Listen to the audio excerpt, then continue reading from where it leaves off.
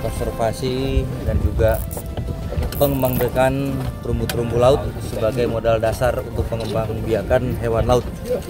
Dengan harapan semua potensi-potensi kelautan, darat, dan masyarakat tentunya punya nilai ekosistem dan tentunya juga mulai ekonomis dan sumber daya manusia yang meningkat. Amin. Siliwangi.